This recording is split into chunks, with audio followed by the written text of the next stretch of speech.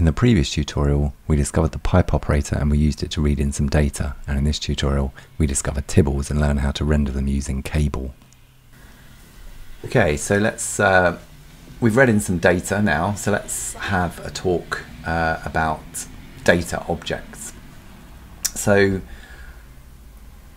we read in a, a CSV file into an object called eddiefy, which is like a, you know, kind of a big data set with lots and lots of variables in and then we we kind of created a subset of those data that we called energy tib.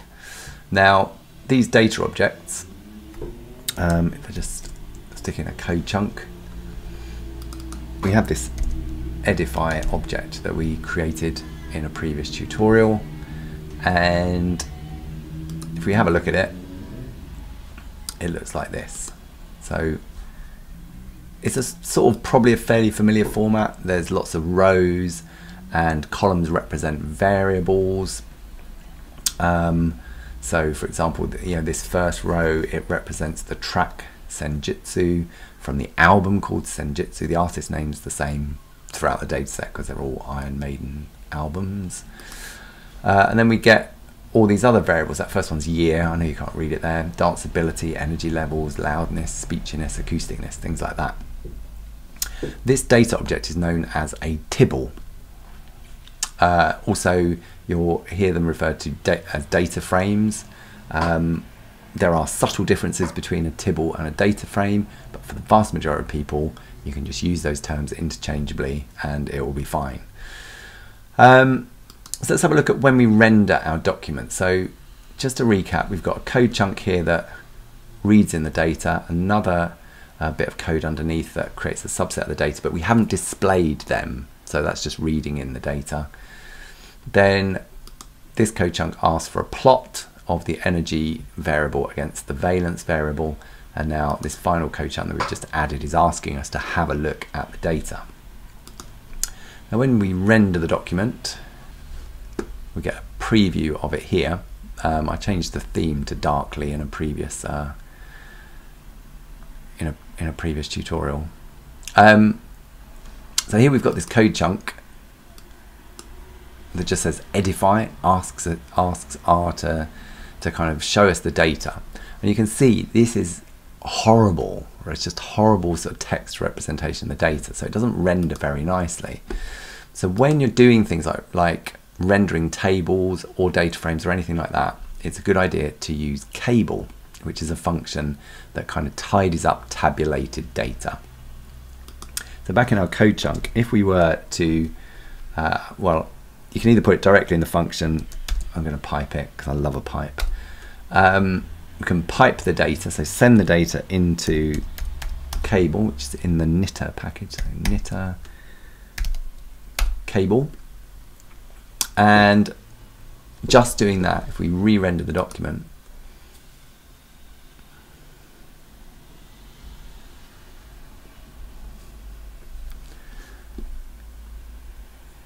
you can see that now, where we had horrible text, we now have a, beauty, a beautifully formatted table. And in fact, we can scroll across using our mouse and scroll down, whatever.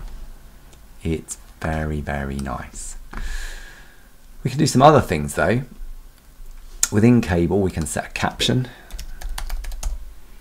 So caption equals, and then quotes, let's say, table 2 Spotify data for oops for Iron Maiden. Now if we render this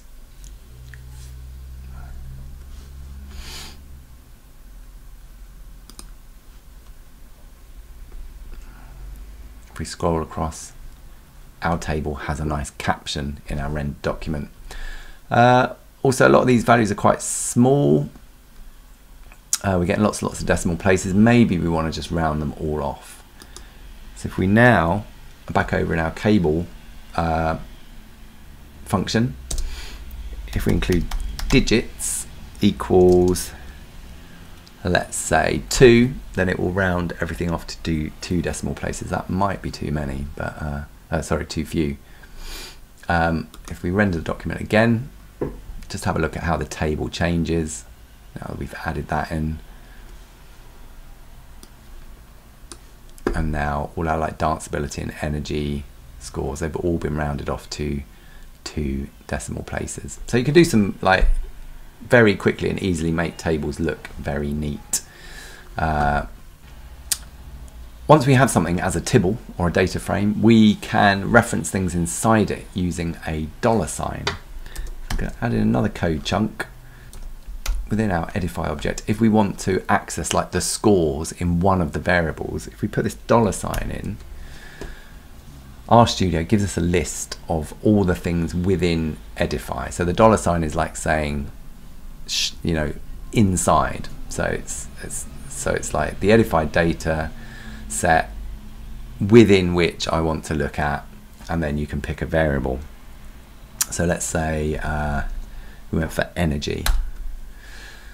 So what this bit of code means is the variable energy within the data frame or tibble called eddiefy.